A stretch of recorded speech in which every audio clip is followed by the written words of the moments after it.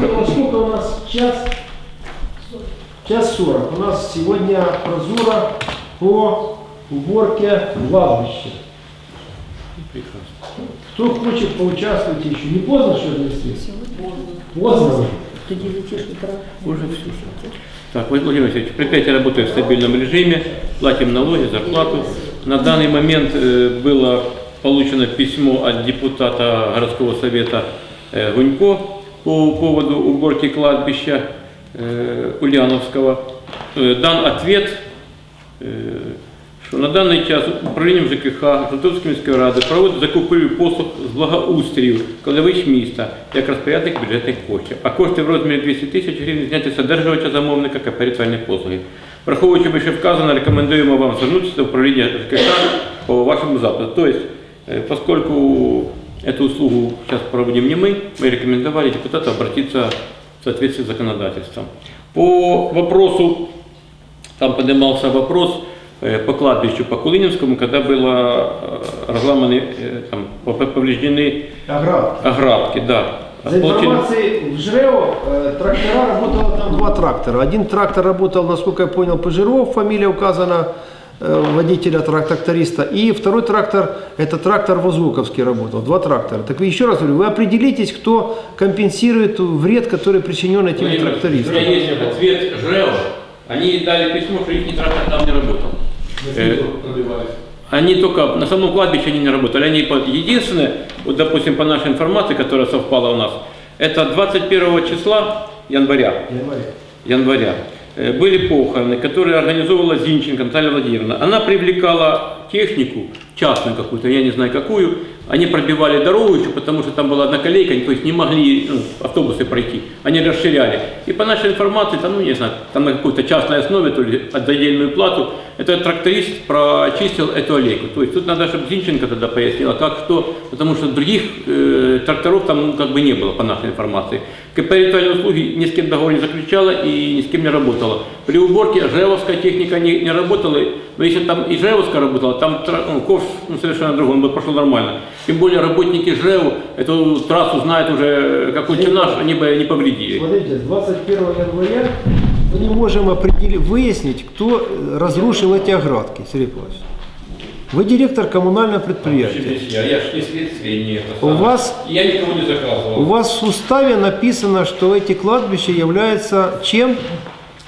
Как там написано? Вашими структурными подразделениями. И вы не владеете, что у вас делается на ваших структурных подразделениях. Ильич, ну надо было просить, запрос Делайте. сделайте на нее тогда. Хорошо. Я просто вам это говорил уже, ей говорил письмо. Ну хорошо, я сделаю еще раз. Я тоже больше, ну, Там- Там-то люди вообще не просят, не я вам больше того скажу. Если некоторые говорят, что это Абрамов дал такое разрешение разрушать эти оградки или там пробивать трактором, то я уже больше того скажу. Там моей супруги родная сестра похоронена, там снесена полностью и оградка. Вот кто выявил, я выявил впервые, там, что разрушено полностью. Мы потом прошли с моей супругой до конца кладбища и определили, как- насколько там объем разрушения это. Вот так это было. Да я же за себя уже не прошу, уже бог с ним. Мы уже за свои деньги поставим эту оградку. Вопрос для людей, для других, которые пострадали. Надо. Тем более они предъявляют реальные чеки, вот сделали на тысячу гривен восстановили. Пожалуйста. Она обращалась, мы дали ответ, допустим, по нам, что ни мы, ни КП ГРЭО на основании ее письма эти работы не проводили. То есть необходимо установить лицо. Это надо или милицию написать заявление, чтобы милиция проверяла. января, сегодня уже апрель месяц. Не, так мы тогда сразу вопрос поднимался что вы его подняли тоже. Так а вы ничего не сделали, как руководитель? Почему я ничего не сделал? Мы проверили, дали ответ и на Хмару сразу дали, она дала ну, вам письмо. Мы Хмаре были тогда написали, вот ответ. Мы дали ответ, я вам скажу, когда. Третьего, ну, третьего, когда вопрос поднимался еще. Так, Враховуючи, що згідно статті 30 і 34 про поховання похоронну справу благоустрій, кладовище компетенція Житомирської міської ради і виконавчого комітету також в зв'язку з тим, що вам написано заявлення міського голови Абрамова, який на оперативній нараді дав вказівку КП ЖЕО розглянути питання про відновлення огорожі за рахунок винних осіб або за рахунок коштів, які будуть виведені на благоустрій кладовищ міста. Е, На, ваше звернення по факту пошкодження градки на кладовищі Кулинське повідомляємо, що КП «Ритуальні послуги робіт по розчистці алеї від снігу на кладовищі Кулинське не проводило. Згідно листа КП «Жирова» від 01.03 в період снігопадів роботи по розчистці кладбища Кулинівське вони також не проводили. Рекомендуємо вам всі дії по відновленню оградки виконати після відповіді міського голови Абрамова ВВ.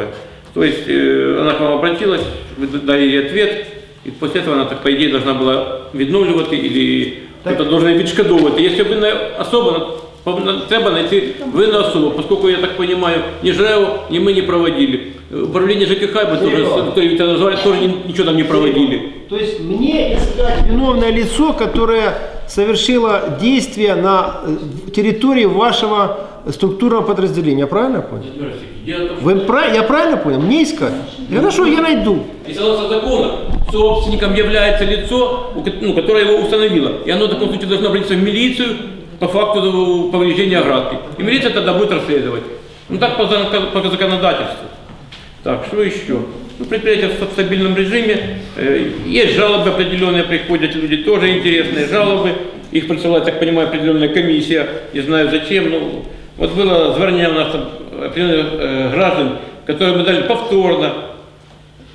Э, людям, допустим, если там они выполняют какие-то работы с частными структурами там, или с частными лицами, мы рекомендовали обращаться в суд в частном порядке или в милицию. Я вас просил пригласить на совещание городскому главе всех субъектов хозяйствования, На когда, которые, скажите? которые заключили с вами договор. Скажите, когда их пригласить? Я уже делаю это без вас все.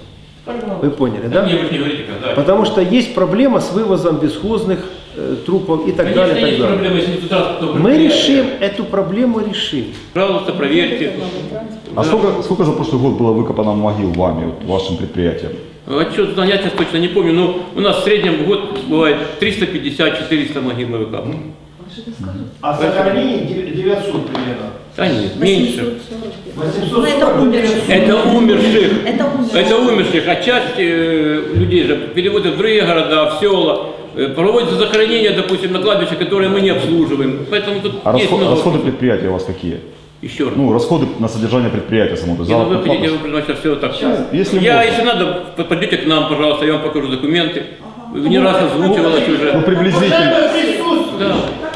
Несмотря на то, что работала комиссия депутатская, то в противоречии требований законодательства были осуществлены действия, которые называются препятствование работы депутата. Если не ошибаюсь, это 351 статья Уголовного кодекса, которая предполагает депутатов местного совета. Васильевич, Документы им не были 18.02. предоставлены.